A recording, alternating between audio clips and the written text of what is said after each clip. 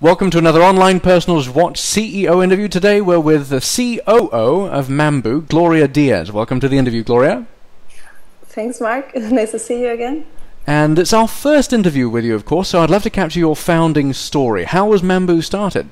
Uh, we have a, a, Eastern service that is very popular in Russia called Mamba.ru that they has been working since uh, 2004 and we are so successful uh, in the Russian market that the, it constantly attracted uh, millions of people from other countries or maybe Russians living in other countries and some of them contact us like quite frequently, I might say, saying, hmm, you have such a wonderful service.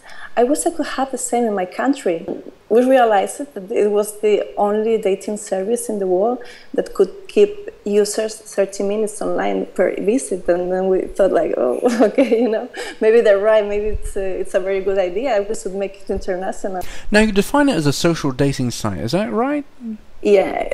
so, what is a social dating right. site? How is it different from an internet dating service? How would you define it as a, as social dating? For me, a social dating website is any kind of system that allows an individual to meet up with other people in a social atmosphere or in a social environment. And for us, uh, we just like to provide uh, our users with the chance of meeting uh, their other half or the person they're gonna love forever or, or maybe for a few weeks among the network of friends that they have or hmm. maybe mm. find someone that belongs to the same peer group or the same reference group or just have the same social values uh, social aspects are very influential in, in real life in dating so we had to repeat that uh, as online so let's get into privacy. Very important aspect, of course, with traditional yeah. dating services, because they don't tend to.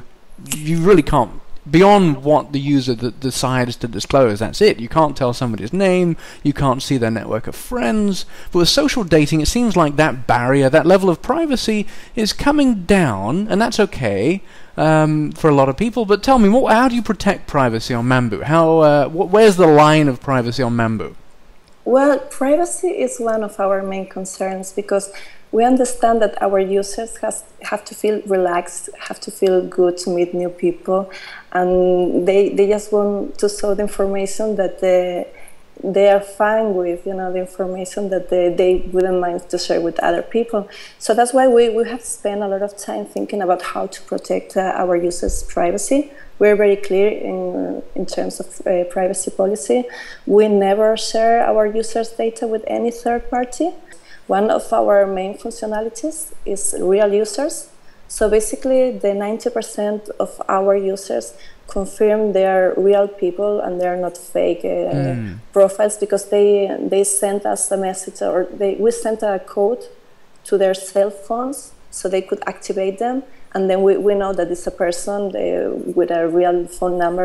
Well, how many members do you have now, and how many are active on Mamboo? We have now 300,000 users. We have a, a rate of like 2,000 users registering per day. Great. Um, so you advertising or not advertising? Uh, we're, we're starting to, to advertise, but uh, the main method is uh, partnership. We're also, right now, we're even cooperating with other subscription dating websites, uh, trying to attract other kind of, of users. Well, it's mostly free, isn't it? And then you have, uh, tell us about your, what do you charge for and what, what are the price points?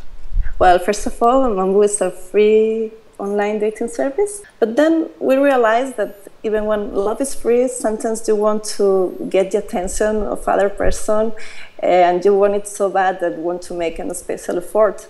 So we have some little uh, services that users can use just to to get a bit more of attention. For example, one of our main services are are called gifts. So there are a few social dating services we could list, but there's one which is uh, you've um, had some special interest and experience with them, and uh, they've you actually share an investor, of course, in with Finam. Finam also invested in Badoo. So tell us how is Mamboo differentiated? How is Mamboo different from Badoo?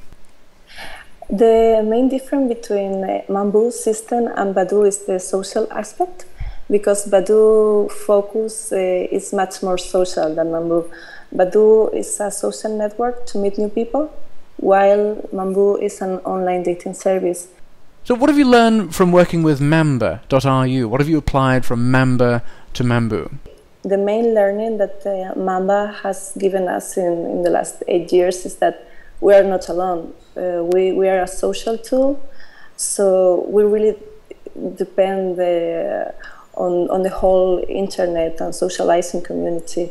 So that means that our users are everything. So we just listen to them and develop the service that they love. And where would you like to see Mamboo in a year's time?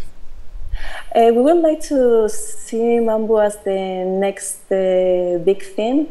So when whenever we go to maybe to the Google Zeitgeist and review, okay, what what happened that last last year in internet that uh, was the next big thing, we want everyone to say, oh, okay, look, it was Mamboo. Great. Gloria Diez, you're the COO of Mamboo. Thank you so much for taking the time today. Thanks, Mark. It's always a pleasure.